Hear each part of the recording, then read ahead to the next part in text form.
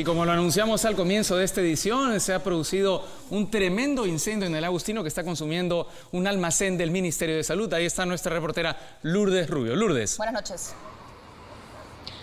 Así es, Raúl Lorena. A esta hora de la noche este incendio aún no ha podido ser controlado por los bomberos. Ha sido calificado en grado 3, es decir, de gran magnitud e incluso ha movilizado más de 20 unidades de bomberos. Este se ha iniciado aproximadamente a las 6 y 30 de la tarde al interior de la empresa Pio Nissan, una fábrica de zapatos ubicada en la cuadra 18 de la avenida Independencia en el Agustino, exactamente por donde pasa la vía evitamiento. Eh, aproximadamente unos 40 trabajadores han tenido que ser evacuados e incluso 6 han sido trasladados hasta el Hospital Hipólito Unanue por signos de intoxicación. Eh, lo que tenemos que informar también, y que es bastante serio, es que ha sido afectado con ese incendio un almacén del Ministerio de Salud que según un documento oficial ya enviado eh, por esta institución ha afectado más o menos en las tres cuartas partes del eh, total. No solamente se han perdido medicinas e insumos, sino también archivos.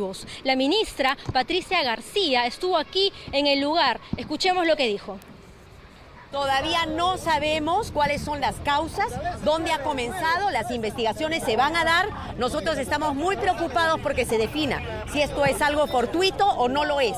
Entonces vamos a estar detrás porque las investigaciones se den. Muchas gracias. tengan cuidado porque hay gases tóxicos acá. Mejor cuídense. Lourdes, queríamos preguntarte dos cosas. ¿Cuántas unidades de bomberos se han eh, eh, apersonado al Agustino y si se ha eh, registrado a la gente que ha salido de sus casas? Sí, mira, se han aproximado más o menos unas 22 unidades de bomberos y pues al inicio también nos han comentado los bomberos que han tenido problemas con el agua, como suele pasar, según dicen, en un incendio de esta magnitud. Las personas eh, permanecen en sus casas, en los alrededores, eh, ellos, bueno, en realidad han guardado la calma, e incluso nosotros nos ubicamos en el techo de uno de los vecinos, quien amablemente nos ha cedido, digamos, parte de su vivienda para poder eh, tener estas imágenes que estamos viendo, pero casas afectadas hasta el momento se han reportado, Raúl. Muy bien, Lourdes, muchas gracias por la información. Volveremos más adelante con más detalles.